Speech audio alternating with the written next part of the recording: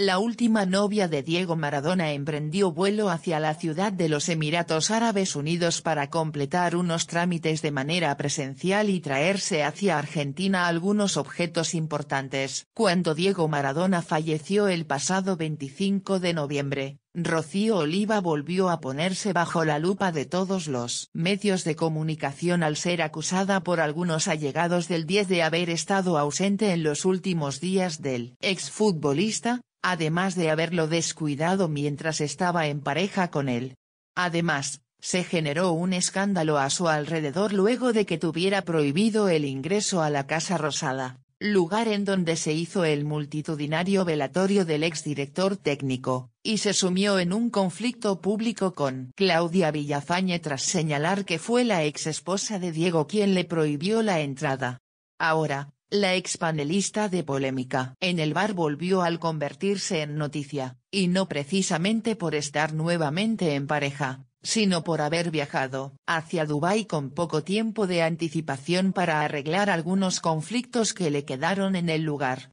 Se fue a Dubái en el día de ayer, se va por bastante tiempo y se va para cerrar algunas cosas y atraerse, explicó Andrea Taboada en Los Ángeles de la Mañana, anticipando que la fecha de regreso no será en los próximos días. Ante esto, las angelitas comenzaron a especular que sus trámites deben estar ligados a cuentas bancarias que posee en el exterior, ya que de necesitar elementos materiales podría hacerlo mediante las diversas mensajerías internacionales que existen en la actualidad. Si necesita un viaje presencial, es que debe tener cuentas allá, reflexionó Ángel de Brito. Además, Yanina Latorre recordó que el monto máximo a transportar sin necesidad de declarar son 10 mil dólares dólares por persona, por lo que capaz Rocío viajó a retirar aquella suma de dinero. Asimismo, Taboada aseveró que Oliva hizo negocios allá, y que se fue acompañada de su actual novio, se fue con un señor de bigotes, no se fue con una amiga como dijo ella, pero el motivo del viaje es para traerse objetos de muchísimo valor.